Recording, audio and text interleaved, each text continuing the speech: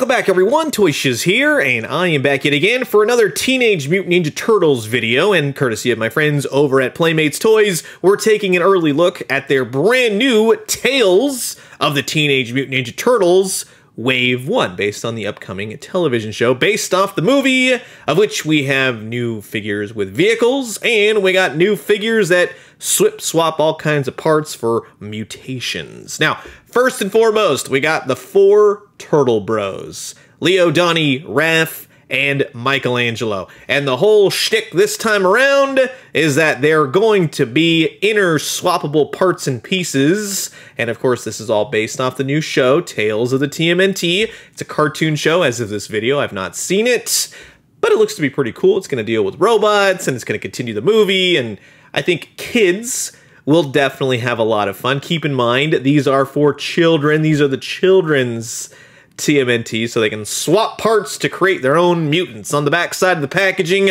the usual. You're going to see every single figure that's forthcoming in the line, and you get to see a little bit of a bio talking about the fearsome new foe that these Teenage Mutant Ninja Turtles must face. So I'm looking forward to that. Here's a look at all the new figures. These were actually on display at Toy Fair last year. These are the ones I couldn't take photos of, so it's nice to be able to finally talk about all the robots and Metalhead and every everything that is involved with that, even new mutants, which are coming, but they're not part of this initial first wave. So here's the barcode for Leonardo. Now, I'm taking an early look at these, but expect these to come out within the next couple weeks or so, possibly early. We will see. Donatello is, of course, part of the line. You gotta have the tech genius.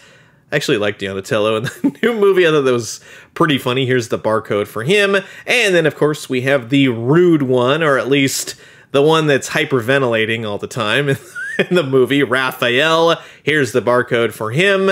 And then, of course, we have Michelangelo, which, of course, Mikey's always going to be one of my faves. He was always my fave growing up. Now I'm more of a Leonardo guy, which it changes every so often. But those are the four turtles. Now, like I said, we also have some new vehicles that come with exclusive figures, so they're going to be a little bit different than some of the other releases. Like this exclusive Raphael with helmet and his red driving gloves, and of course this is the Purple Dragon Cycle, which looks very purpley, but my main thing is that it has rocket launching action, but I love the artwork. The artwork is very eye-catching. More of that. I love seeing all those turtle bros. Now, on the backside, it'll give you a detailed look at everything you're about to enjoy. A little bit of a bio for this Purple Dragon cycle. Apparently, Raphael stole it.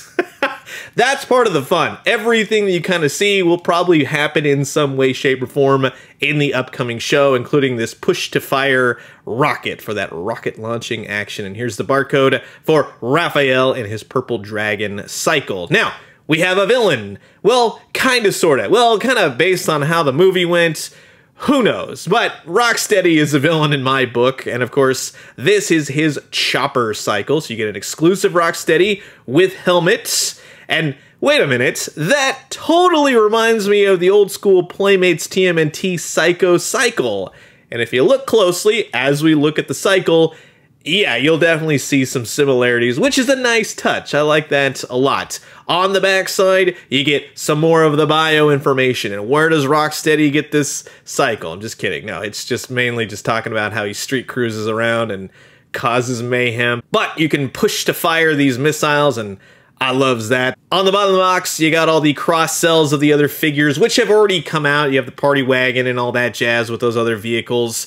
For the most part, you'll be able to find these no problem in stores. It's a little bit of a holdover, so this kind of finalizes the whole movie aspect of the toy line, and now moving into Tales of the TMNT, and here's the barcode for Rocksteady, and his sweet Psycho Cycle. Ah, that's, that's what I'm going to be calling it. That's what it... It's like a mini Psycho Cycle. So, this is going to be an absolute blast. Sit back, relax, grab yourself a nice hot cup of coffee. This is an early look at the brand new from Playmates Toys and based off the upcoming Paramount Nickelodeon television show, the Teenage Mutant Ninja Turtles from the Tales of the Teenage Mutant Ninja Turtles, Wave 1. All right, so now that everything's out of the packaging, we're going to kick off all this nonsense with a look at the brand new vehicle and action figure sets. And I think that in terms of offering, again, for more of the kids line, we have so many other outlets as adult collectors for TMNT. Let the kids enjoy this one. But as a collector, you might see some value in these. Raph with his purple dragon cycle. Raphael himself has his helmets. You got some nice details, some nice colors, some nice paints. It's not all that different from ones we have seen released thus far. I even like how the bandana is sticking outside of the helmet, but the sculpt is nice. The coloring is nice. That's very much Raphael from the new movie, and he does have some weapon storage, although they're a little bit cumbersome to get in there with the way the articulation is, just heads up. But it's not really that big a deal. It'll go in regardless. It might warp the size from time to time, as if that never happened with the old Playmate stuff that we grew up with. But he holds the weapons very nicely. He only comes with a two sai, and then it's going to be largely the same exact articulation that we have seen thus far, with the appropriate amount of articulation to then get him riding on the Purple Dragon cycle. That's a very key element for this two pack, of course. But in terms of the actual motorcycle, that's pretty darn cool. It almost looks like a G2 Transformer in many ways, from the audacious lime green to the purples and the reds. It also has a kickstand. I like how that pops down and keeps the figure on the bike nice and stable. It's just very simplistic. Yeah, there's a lot of detail. A lot of it is hollow. It's a very light bike. It does have funny elements like the duct tape around the seat, and you got the R for Raph. And yes, it's very colorful, very cartoony. But on the front right here, you see this light. And that's what I particularly like because when you push this button right here, boom, that's going to fire. And I think we need to test it out on an unsuspecting Rocksteady and knock him over. Thank you. Look at that. Every time I seem to do these, it never seems to work out. But clearly, yes, you can articulate Raphael onto the cycle. You can drive him around. You can have him just sitting there with the kickstand up or down. It's a really nice two pack with a vehicle and a figure. But ultimately, I would say not something for me. As an adult collector, definitely one for the kiddos. You get the more expensive turtles, they get these Playmates ones, and you can fire off missiles till the cows come home. It's a pretty sweet figure. Now, in terms of Rocksteady, and his Psycho Cycle. It's it's gonna be the Psycho Cycle from now on, or just the miniature version. But Rocksteady himself, which well, you got to turn to the side to even know what you're looking at here. But yes, that's very much the TMNT movie Rocksteady. He comes with one weapon himself. It's very reminiscent of old TMNT weapons. It's a flat gray color and he holds it nicely. So it does look good in that sense. This Rocksteady is different because he comes with a new hat, and I love how that is how it has to work to fit that on his body, and that's really funny. It's a nice design, it totally works. The coloring on the figure is very simplistic, very simplistic paint, very simplistic articulation. He's got his big clodhopper feet, but ultimately it's an odd end design for me in terms of Rocksteady, but Playmates has done a great job in bringing that into plastic form. In talking about the cycle now, that, much like the colorfulness of Raphael's Purple Dragon cycle, this one has a very old school color nature to it. The oranges, the reds, it's almost jarring to the eye, but pleasing as well, like with a giant skull face on the top. And again, that's what makes it very much the psycho cycle with the missiles on the side and those rotating tires and the whole fact that it's a chopper and that's very cool. It's just missing the buzzard, right? The little guy that sits on the back. And overall, this is my favorite of the two, obviously because of the nostalgia factor that it presents. But in terms of fitting Rocksteady on the cycle and having him hold the handlebars, everything looks good. He looks really great atop this cycle. So I would say ultimately that's definitely a home run for just the totality of everything in this package. However, you want to see those missiles, and I want to see those missiles, and we got some Turtle Bros to take out. So we're going to fire these off accordingly, and... well, at least it worked with Raphael. Anyways, let's try the second missile. Here we go. Nope. Somehow that went it, you have a wall of turtles and it missed them all. All right, three times the charm right now. Let's see what's going to happen. you can't make that up. Right between them, My God, that is that's that's pretty good. Of course, that that would happen. So to clarify, yes, I, I really do like this cycle with Rocksteady. Now let's talk about some turtle bros here, and I'm impressed for the price point, and you get a figure and a a ton of accessories in the packaging, all of which will help you uh, cobble together your own mutant turtle or robot or Master Splinter, like you see here with Raphael. Each Turtle Bro gets a different set of weapons, different set of pieces, and that's actually a nice touch as well. Not much is really reused outside of, let's say, Metalhead from Leonardo to Donatello. All the turtles will get their corresponding weapons, of course, and then what's actually kind of interesting is that all four turtles each get three different styles of throwing stars. So again, that's a nice touch. You got Michelangelo here looking all cool with his robotic parts and pieces and nunchucks. So we'll use him as the basis for what we're going to be talking about today. So Mikey comes with a robotic leg. And again, I'm going to point out there's no articulation in these figures in the elbows or the knees, unfortunately. But you'll see why in just a second because it comes with extra robot pieces and you get the nunchucks. And really, what they're going for is the play factor of swapping out parts and pieces. So not much paint on these accessories, if at all. So flat black, flat gray, that's going to be the name of the game here, including, again, some throwing stars, throwing discs, throwing blades, whatever you want to call them. And each of the weapons have holes for storage on the belt, like with Michelangelo here, who I think they could have improved upon the face, at least in the paint. He has a little bit too dark of a smile. They could have lighten that up just a little bit. Like I said, plenty of weapon storage on the belts. The belts are removable if you want to take them off, but then how are you going to store all these parts and pieces every which way?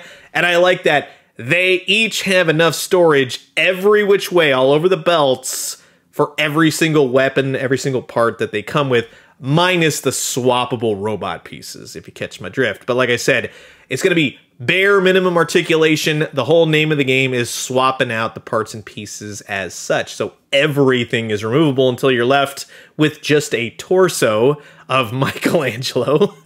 Pretty gruesome. But that's where the fun is for the kids. And you swap him out with parts and pieces to make a robot Michelangelo, a mutant. You can really interswap between every single part and piece for every single turtle, every single figure in this line. And again, much in in kind of going with the He-Man origins and their style. It's basically now with the Ninja Turtles, which is funny because Mattel has crossed over with the whole Turtles of Grayskull, and now Playmates seems to be doing the origins thing with their turtles and whatnot. So yeah, a, a, lot of customizable options, which I think will keep kids coming back for that play function if kids today are into action figures, much like we were all back in the day. But yes, it's something of a horrifying nature to see all these robotic parts in Splinter's head. now, with Michelangelo finally all put back together, I will show you that once again, there is no articulation in the elbows or the knees each of it just kind of swivels at their respective ports, so it will get kind of gappy, just FYI. But they have plenty of weapon storage, especially for Michelangelo's nunchucks. Then you have the blades, and really with just pegging in all the weapons, that was fun in and of itself. You can put every which weapon every which way if you like. But one thing I want to point out is on the shell, you see it has these little slots right here, and you can stick all of the shuriken blades, the throwing stars, into the shell. Every single turtle has them, which makes me think that at some point that will probably happen. That'll be a funny moment in the upcoming television show. But I kind of like that. I like that they just threw that in there with all the different throwing stars. And really, with the limited articulation, you can get some nice turtle poses out of this. Again, to reiterate, the name of the game is swappable parts and pieces, not an overly articulated action figure, of which those are already out, those already exist if you want to go that route. When looking at Donatello, it's going to be the same exact thing. He will come with the bow staff. However, his is kind of reminiscent of the old school Playmates coloring of the weapons, but you can swap it out for a giant pipe. You can put all the throwing stars every which way. You can get Donatello a going pretty darn cool. Same thing with Leonardo. He's got his katanas. He very much has some old school weapons like the old Playmates turtles, including that piece that look like a, a half-eaten piece of pizza, right? We all remember that one, or getting the clothesline out and throwing those things down there as like a zip line sort of deal. Raphael will be the same dealio with all the throwing stars. He's got his pair of Sai going on. And really, these are kind of a, a, different tone, a breath of fresh air in the sense of where the weapons store and everything else. So Raphael will store his Sai on his back, which is odd, right? They usually go in the front. But that doesn't take away from the fact that and these are very different turtles for a very different era, but the turtles themselves, when they're all stacked up, ready to go, weapons in hand, every single gadget, every parts and piece on them, it's a nice collection of Ninja Turtles if this style of Ninja Turtle be your thing. But if you were wondering, how does the recent Party Wagon measure up with these turtles? Well, it's obviously going to go together very nicely. There's not much different. It's just a new toy playing aesthetic. But yes, to put Raphael and Donatello with the Party Wagon, that totally looks cool. And I like how this all fits. This is bringing back the fun to a new generation of TMNT fans. No, these are not the turtles for us. I can definitely see a lot of the value in there of things of like, oh, well, that reminds me of that, and the pizza thrower and everything else. But I have various other TMNTs that I've been collecting that I thoroughly enjoy, but these are something you can definitely do with the kiddos, and for that alone, there's the value, especially when you want to create your abominations of nature, and staying true to the whole swappable swappage that these TMNT figures boast, I would say that you can make your own freaks of nature and just have a blast doing it. Get your parents, get your kids, have a family fun night full of TMNT and pizzas and watching the old cartoon, watching the 90s movies. You'll have a great time. I love how Donatello just has a metal arm. That's what I think Donatello would have anyways. You can read the old Mirage comics for those wanting to know reference on that. But through and through, I would say definitely these is a home run of a toy line for kiddos that definitely love TMNT. And yes, you can make your own Metalhead if you so desire, but not to worry, Metalhead is part of the Tales of the TMNT line, so he will be getting his own figure soon enough. So, that will wrap it up for my look at the brand new first wave of the upcoming Playmates toys Tales of the TMNT action figure line. And again, thank you to my friends over at Playmates for sending these out for the purposes of this early look. I would say overall, it's a pretty solid home run of a toy line. It incorporates some definite play value, tons of weapons, tons of accessories. The vehicles fare okay. I would say not much for me personally outside of the weapon projectile firing. I especially love that but Rocksteady and his nostalgic Psycho Cycle is definitely the highlight for me. But you've heard my thoughts, so now I'm curious to know yours. Comment below, let me know. Let's talk everything Tales of the TMNT. And I'm going to leave you guys with that. As always, drink some great coffee, eat some great food, but most importantly, remember, yes, stay tuned. The new television show will be on Paramount Plus, and it's by Nickelodeon, and we can all give it a watch when it finally releases this summer. And when we do, let me know what you found. I'll talk to you guys soon. Adios.